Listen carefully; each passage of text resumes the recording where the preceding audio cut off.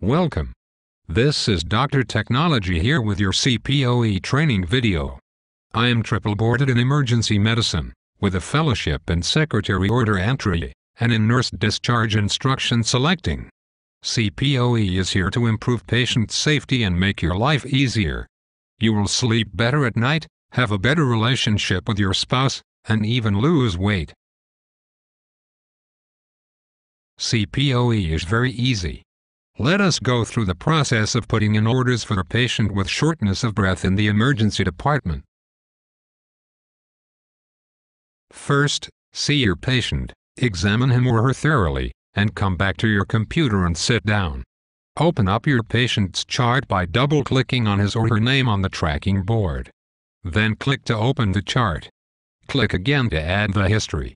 Then you need to click to add orders.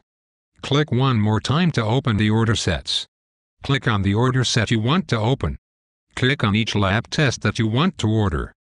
Don't forget to select specimen type by clicking on blood. And click to select the labs to be run stat. Next, you will click for a chest x-ray. Then you will click to pick the transportation mode for the chest x-ray. Don't forget to click and type the indication for the x-ray. Now, if you want to order a CAT scan of the chest, you will have to click on that order, and then click to override the alert that will pop up because you do not have your creatinine results back. If you also want to order an IV, you need to click on IV insertion. And if you want to give normal saline through the IV, you want to type in the letters N and S, and then click to choose which type of saline you want, and click to type the frequency and click again to sign the order. Don't forget to click to refresh the screen. After reviewing your labs and X-ray results, you may need to order antibiotics if the patient has pneumonia.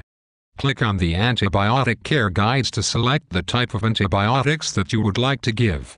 Please realize that if your patient has a penicillin allergy, the appropriate antibiotics will not even be present in that care guide and you will have to go on a wild goose chase to find the antibiotics that you have to click on to treat the patient for their illness. Please note that after you finish all of the above steps, you will then have to pick up the phone to call your disability insurance carrier for your carpal tunnel syndrome that you have developed during your CPOE experience. Good luck and thank you for watching.